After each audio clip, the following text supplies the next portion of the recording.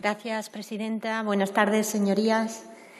La iniciativa propuesta pues, claramente aborda la perspectiva de género en la política penitenciaria. Y desde Ciudadanos siempre vamos a estar promoviendo la igualdad entre hombres y mujeres y, en este caso, en un ámbito en el que sabemos que da mucho por hacer. Queda mucho por hacer y por, eso también aportamos algunas mejoras a través de enmiendas para tener una visión más global de cuál es la situación penitenciaria no solo de las reclusas, sino también de las funcionarias de prisiones. Porque son dos bloques en los que podemos trabajar y reflexionar al tener la mirada puesta en nuestro sistema penitenciario.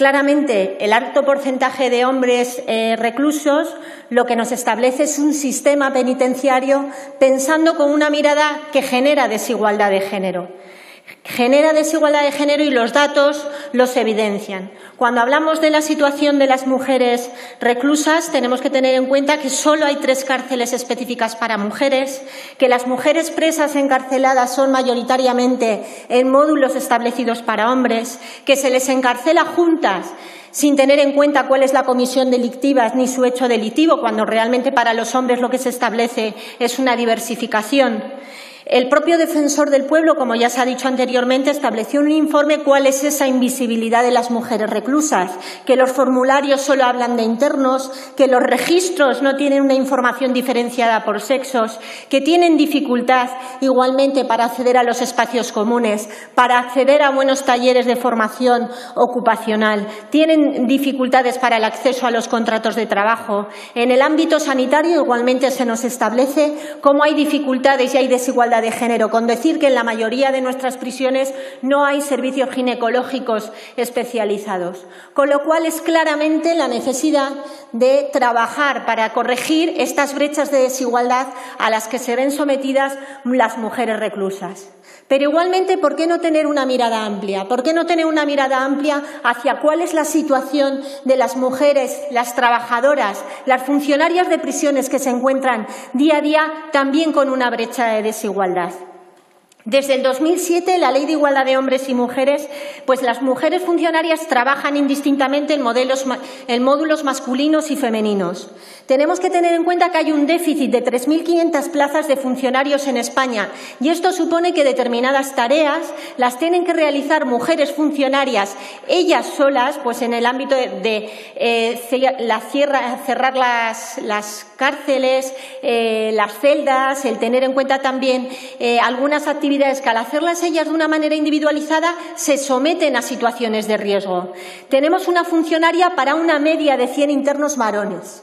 Y lo que me parece totalmente lamentable son algunas de las denuncias escalofriantes, les digo, desde la perspectiva de género, que he tenido que mirar, que he tenido que leer. Me parece totalmente indignante que haya mujeres funcionarias que se estén viendo sometidas a agresiones de carácter sexual en el desarrollo de su trabajo. Tocamientos, acorralamientos, masturbaciones, exhibicionismo, miradas lascivas, comentarios lascivos en grupo. Esto es a lo que se ven sometidas en su día a día. Y en muchas ocasiones no denuncian. No denuncian porque no confían en la propia respuesta del sistema. Ayer mismo salía un artículo que se publicaba en la Tribuna de Albacete donde se ponía algunos ejemplos de este tipo. Por lo tanto, sí que creo que es muy necesaria una medida de este tipo, una PNL de este tipo que nos permita avanzar en el recorrido, hacia la igualdad de género de las, mujeres reclusas y de las mujeres funcionarias de prisiones. Desde Ciudadanos creemos que para proteger a estas mujeres ya llevamos tiempo solicitando que se les reconozca ese carácter de agentes de autoridad. Desde el 2017 llevamos presentando iniciativas en esta, en esta línea. A lo largo de todo el proceso de prórroga del estado de alarma, en las seis prórrogas hemos solicitado que se, que se solicite que se consiga ese estado de, de agente de autoridad. ¿Por qué? Porque así corregiremos y protegeremos mejor a nuestros cuerpos y fuerzas de seguridad, en este caso a los funcionarios de prisiones, porque así ha habido más de 2.200 casos de agresiones en los últimos seis años que más de uno se podría haber evitado, porque no tienen un reconocimiento legal cuando estamos hablando de su, de su autoridad y se necesita.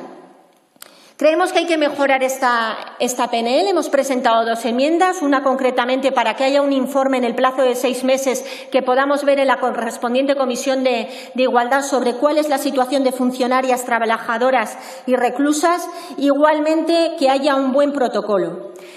Queremos defender la igualdad sin matices. Y ahí vamos a estar. Y por eso no nos fijamos en que es el Partido Nacionalista Blasco quien presenta esta iniciativa. No hablamos de igualdad territorial, que sabemos que no les gusta en absoluto. Pero sí permítame hacerle dos cuestiones y un consejo en el ámbito de género. Háganse ver los últimos spots publicitarios que ustedes realizan para celebrar el Aberri Eguna. El que aparezca la imagen del spot publicitario una mujer planchando y su marido sentado, me parece que nos lo tenemos que hacer ver cuando queremos avanzar en lo que es el ámbito de la igualdad de señora género. Señora Jiménez, tiene que terminar, por favor. Sí, señora. Gracias.